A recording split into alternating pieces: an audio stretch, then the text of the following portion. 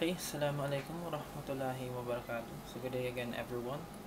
So um, we will, today we will be discussing about the Descartes rule of signs. Okay, so this Descartes rule of signs is a little bit important for you to predict what are the possible combinations of the positive, negative, and imaginary roots that you will have in your um, polynomial functions okay? So again this is important to determine the possible numbers of positive negative and imaginary roots in your polynomial function. And where will this be important? Um, remember if you are trying to um, get the rational real zeros remember if there would be a, a lot of choices there for the possible zeros um, it will be a little bit hard for you to determine the zeros okay if um if there are like like 20 combination uh, five combinations like um five positive and five negative. As for if you know the Descartes rule of signs if it said that um all the roots is positive therefore you don't need to check those negative real roots in the rational zeros okay? So going here in the Descartes rule of sign we have two rules. First one the number of positive roots which is um, p of x is equal to 0 is equal to the number of variation of signs or that number minus an even number.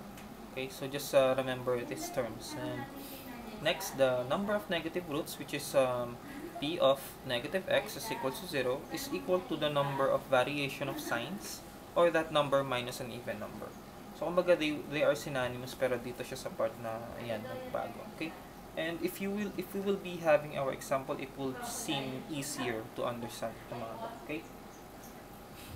So let's have our first example. Um, let's have a of x is equals to x raised to 4 minus 2x cubed plus x squared minus x and minus 3. Okay, so the very first rule that we need to do here is we need to determine the number of sign variation. Okay, so what do we mean by variation of signs or sign variation? It just simply means that you need to check, okay, what are the different sign changes. And sign changes comes from positive to negative or negative to positive. So example natin is this one. So this is positive and this is negative, therefore, this is one sign variation. This is negative to positive, then another sign variation. Then we have positive to negative and that would be your next sign variation. And this is negative to negative, therefore there is no sign variation there. Okay, so meaning the number of sign variation here is 3. Okay, so meaning the pos the number the number of positive roots okay the number no, not positive roots the number of positive the number of not positive possible roots wait let me just rephrase. The number of possible yeah let's have this possible positive roots is just simply 3 okay? And then of course there's a second statement saying that stating that that number minus an even number. So we have this number minus an even number. And what is the the smallest even number you can think of?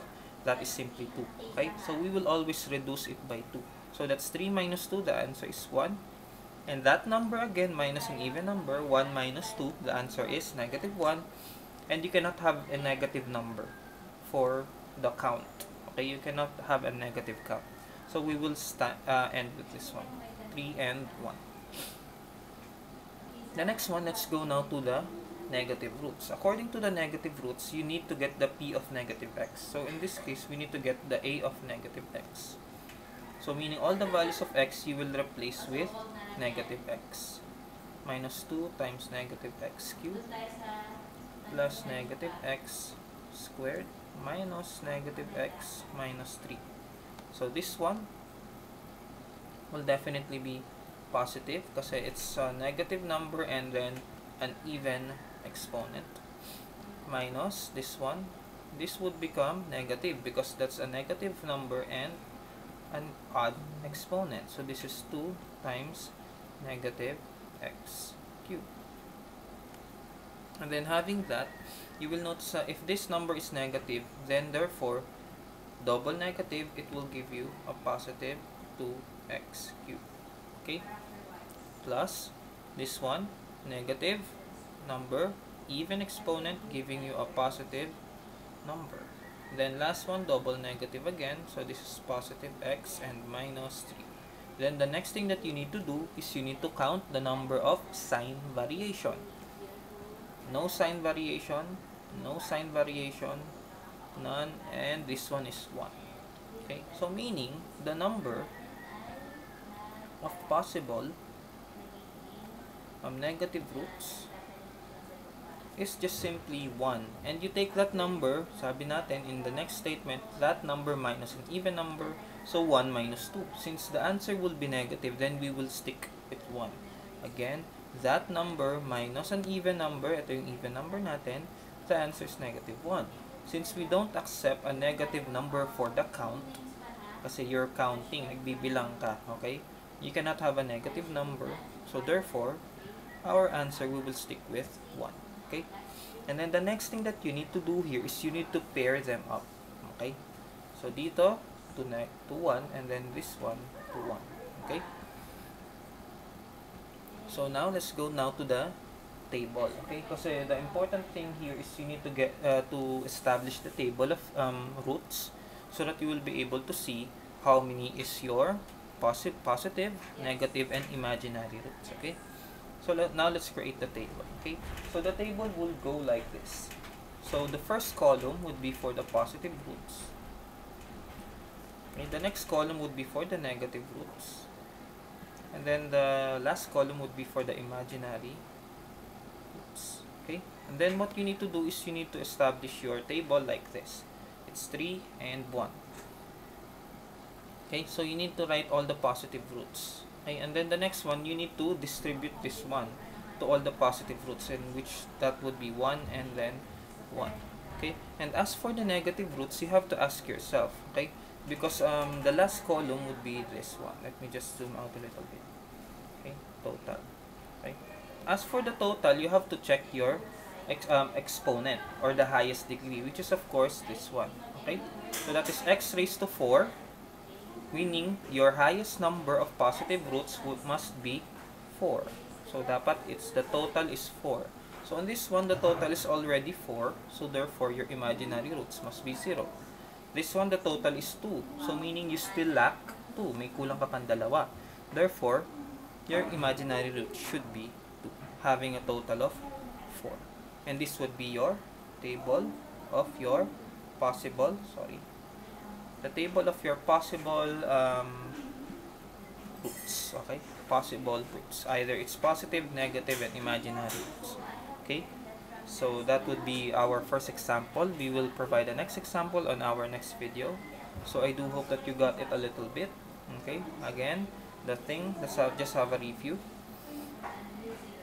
Okay, so as if, if you're getting the possible positive roots, what you need to do is you just simply have to count the number of sign variation, this one po, the number of sign variation, and then just simply reduce that number by an even number which is of course 2. Okay, so we have this one.